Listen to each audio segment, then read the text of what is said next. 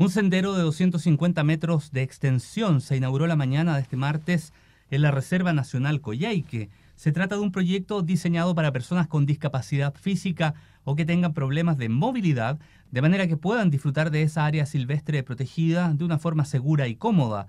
El sendero se financió con recursos aportados por el gobierno regional de Aysén y CONAF y su construcción estuvo a cargo de operarios y operarias que se desempeñan en los planes de absorción de mano de obra que impulsa la Corporación Nacional Forestal. En la ceremonia estuvieron presentes estudiantes de la Escuela del Club de Leones y España, acompañados también de adultos mayores e invitados especiales, quienes valoraron la preocupación por dotar ese lugar con un sendero para quienes tienen capacidades diferentes.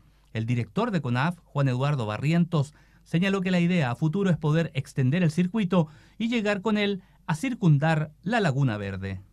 Esto que estamos hoy día entregando es para ustedes precisamente. Tenemos, eh, la verdad es que con mucho agrado decir que este sendero eh, está orientado para todo el mundo, pero con especial cariño para aquellas personas que tengan algún grado de dificultad en la movilidad.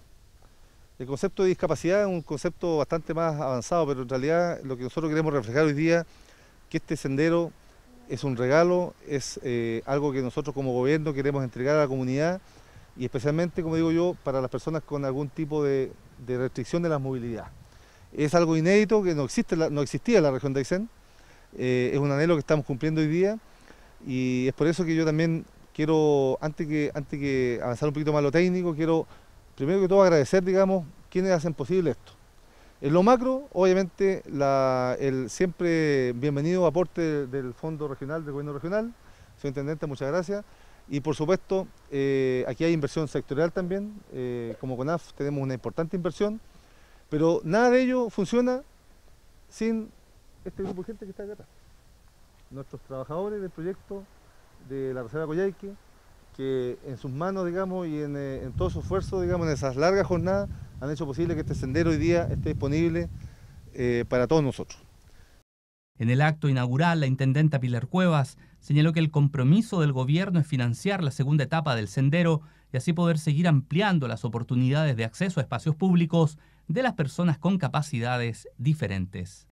Y aquí en este sendero, como gobierno, hemos querido plasmar eh, que no exista esa brecha con la que se encuentran cuando salen muchas veces a la calle.